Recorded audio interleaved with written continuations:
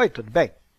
No vídeo de hoje, eu começo uma série sobre o regime geral de previdência social.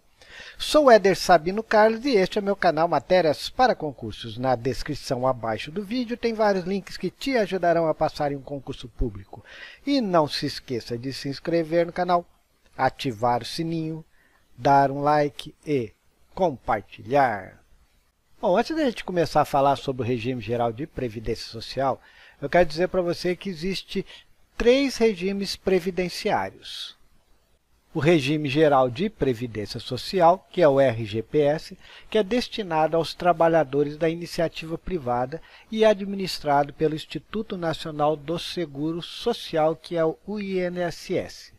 Temos o regime próprio da Previdência Social, que é o RPPS, utilizados pelos servidores públicos de cargos efetivos e militares da União, dos Estados, do Distrito Federal e dos municípios, bem como o das respectivas autarquias e fundações. E o regime previdenciário complementar, que é o RPC. Ele tem caráter complementar aos dois regimes públicos anteriores e natureza privada ou pública, podendo ser aderido por qualquer cidadão. Bom, então vamos começar a falar sobre o regime geral de previdência social. Ele é destinado aos trabalhadores da iniciativa privada e administrado pelo Instituto Nacional do Seguro Social, que é o INSS. A previdência social, mediante contribuição, tem por fim assegurar aos seus beneficiários meios indispensáveis de manutenção por motivo de incapacidade, desemprego involuntário, idade avançada, tempo de serviço, encargos familiares e prisão ou morte daqueles de quem dependiam economicamente. Os segurados da Previdência Social são todas as pessoas físicas que exercem, que estão na ativa ou exerceram, os aposentados, atividade urbana ou rural remunerada ou não, efetiva ou eventual, com ou sem vínculo empregatício. São as pessoas que receberão a proteção previdenciária do INSS. Eu destaquei aqui essa frase por causa que isso aqui pode cair em concurso, tá? A pessoa jurídica não é beneficiária, e sim contribuinte do sistema. O objetivo da Previdência Social é preservar a situação econômica dos trabalhadores e de seus dependentes. Os beneficiários do regime geral de previdência social classificam-se como segurados, ou seja, beneficiários diretos, e dependentes, que são os beneficiários indiretos. Mesmo que as pessoas não exerçam atividades remuneradas, como estudantes e desempregados, por exemplo, são também segurados pelo sistema previdenciário. Os segurados estão divididos em quatro grupos, temos os segurados obrigatórios, que são o empregado, o empregado doméstico e o trabalhador avulso. Os segurados obrigatórios individuais, que são os autônomos e empresários. Temos também os segurados obrigatórios especiais, que é o produtor rural, e segurados facultativos, tipo a dona de casa ou o estudante. Atenção!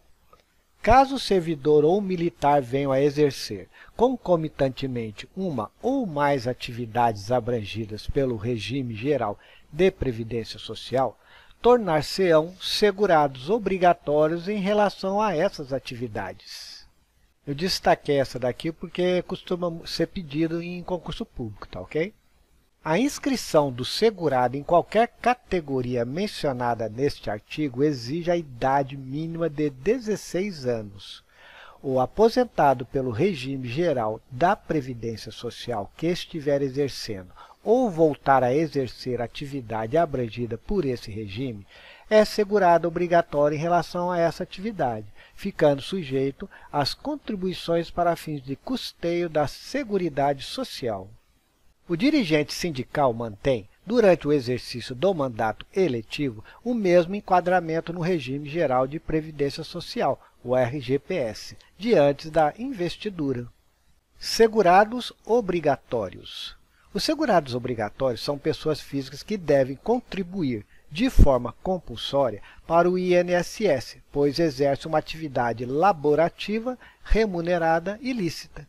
A atividade laboral pode ser com vínculo empregatício, um empregado, ou sem vínculo empregatício, um autônomo, de natureza rural ou urbana. Podem ser segurados obrigatórios do INSS, os segurados obrigatórios, que é o empregado, o empregado doméstico e o trabalhador avulso. Os segurados obrigatórios individuais, que são os autônomos e empresários, e os segurados obrigatórios especiais, que é o produtor rural.